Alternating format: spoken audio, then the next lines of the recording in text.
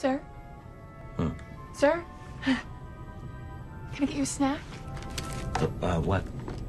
Sorry, sir, I didn't mean to interrupt. I just wanted to see if you'd like a snack.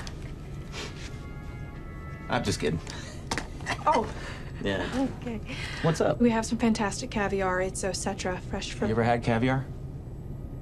No, sir. It's delicious. It is, yeah. But I had some last night. You know what? I'm actually in the mood for something a little bit more Mediterranean. Do you have like a grilled vegetable thing with some figs, or even like um, uh, like any kind of small fish? I'm sorry, sir. We don't we don't have a kitchen, full kitchen here. Well, fuck. How about a glass of champagne? Boom. Great. Perfect.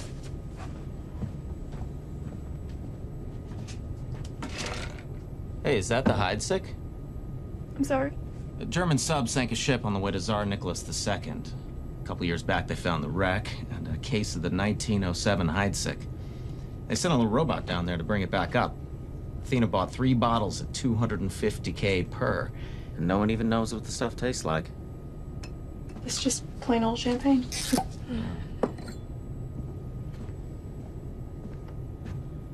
You like working for Athena? Yes, she's sweet. She's sweet. Don't let her hear you say that. Oh, hey, Jesus! What are you doing?